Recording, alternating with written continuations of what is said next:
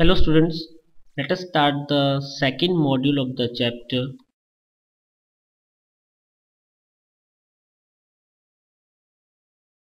Poverty as a Challenge.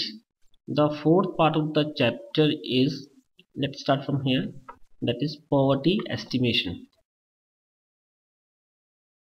If we estimate the poverties, then but we will see that we have to see the datas of last few years in poverty. And what these datas are saying is first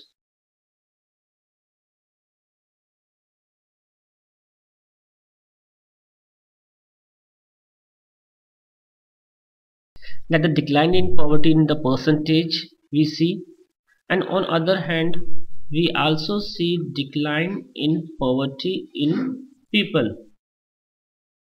the first one, declining poverty in percentage. As you can see in 1973-74, whole over 54, that is approximately 55% poverty was there in, in India. While after two decades, it was only 36%. And in the year 2000, the total poverty ratio in India was 26% means out of 100 crore 26% people are poor. Or in people uh, we also see that poverty in people also as the population is growing but we see that poverty is declining. The number of people also as you can see in 1973 74 it was 32 crore 0.1 10 lakh while in 1993-94 it was 32 crore and in 2000 it was only 26 crore. So the poverty is declining in india if we see the datas of last 50 years. As we said that poverty is found in india but there are some few groups where we see a lot of poverty and these groups are known as vulnerable groups Students, the proportion of poverty is not same in all the groups in India. There are few groups in India where we see a lot of poverty, especially in ST and SC. They are more vulnerable to poverty.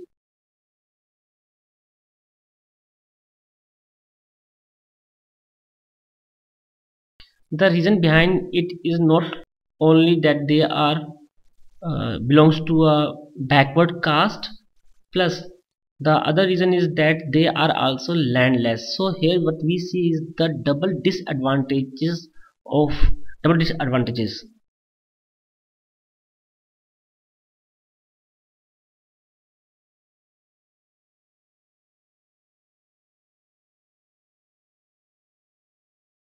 In India except the scheduled tribes the rest of the three groups that is the scheduled caste the rural agricultural laborers means the farmers which are landless or the urban casual laborers the workers which are found in the cities. Uh, we see a decline in poverty in these three groups but not in the ST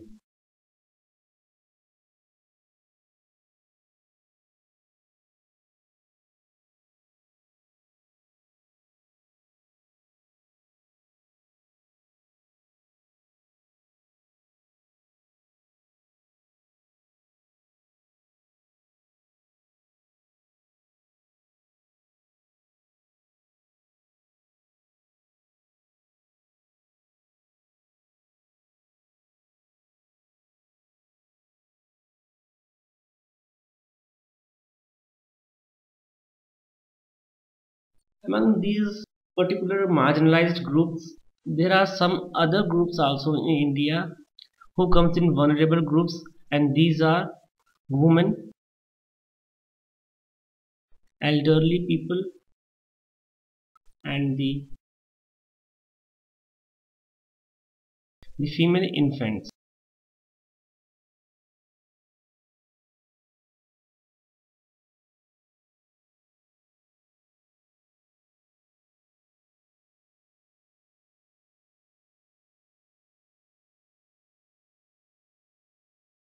they all the women elderly people and the female infants they all are denied equal access to resources available in the family.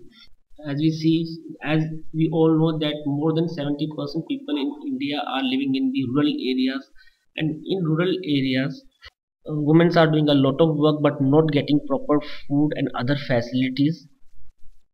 The same we think that in India basically people prefer male child. So if a female infant is there so they killed it or tried to basically they killed it. And this thing is found in the northern western and central part of India. And another thing which we see is that the elderly people the grandparents they are also face this thing. So we include these things also in vulnerable groups. As we see see some there are some particular groups are found that they have more poverty. Similarly if we see the distribution of poverty in India then also there are there some particular states which has more poverty than other states. So our next part the sixth part of the chapter is the interstate disparities. There has been decline in poverty in India since last three decades as it was 32 34% in the year 1973-74 to 26% in the year 2000 but it varies from state to state. First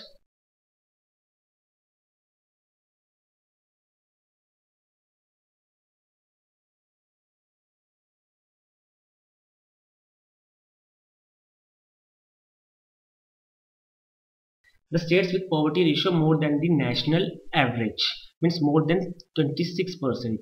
Here the main states which comes are orissa bihar up mp and tripura. In these five states we found a lot of poverty in which orissa comes number one. Second are those states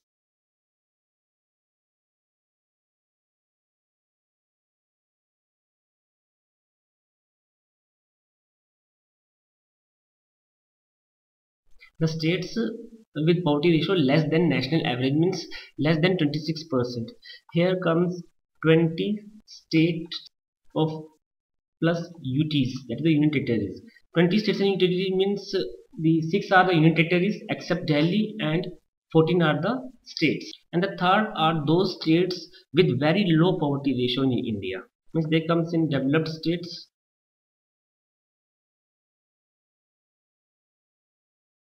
and these five states are Goa, Himachal Pradesh, Punjab, Haryana, Jammu and Kashmir and a union territory that is Delhi. So this is how we see that there is a lot of variations of poverty found in India in different different states. That's all in the part 2 of the chapter.